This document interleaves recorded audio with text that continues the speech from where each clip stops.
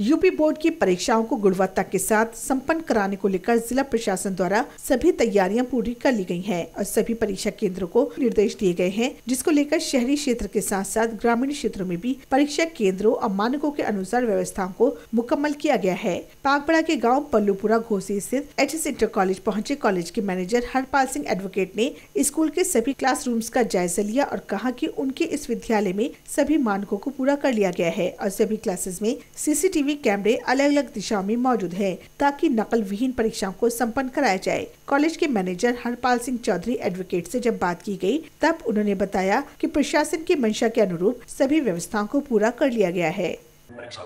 इस विद्यालय का नाम है H S college Pallupura block Moradabad में पड़ता है जिला मुरादाबाद तहसील मुरादाबाद। क्या व्यवस्थाएँ की गई है सरकार द्वारा जो भी मानक या मापदंड विद्यालयों को दिए गए हैं उनकी हमने सभी पूर्ति कर ली है।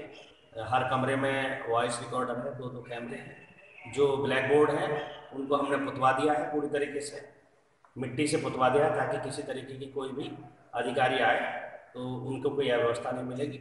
सी सी टी वी कैमरे प्रत्येक कमरे में लगे हैं कंप्यूटर्स लगे हैं कंप्यूटर ऑपरेटर हमारे पास है। क्या मानते हैं इससे शिक्षा में सुधार आएगा?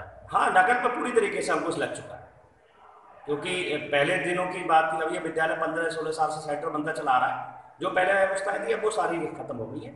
सरकार की मंशा बिल्कुल साफ़ है और उस मंशा में हमारी मंशा है। हम लोगों ने भी बिल्कुल नीट एंड क्लीन परीक्षा दिलाने का जो सरकार से वादा किया, पूरा करेंगे। और बहुत बढ़िया परीक्षा होगी और बच्चों का रेट भी अच्छा है।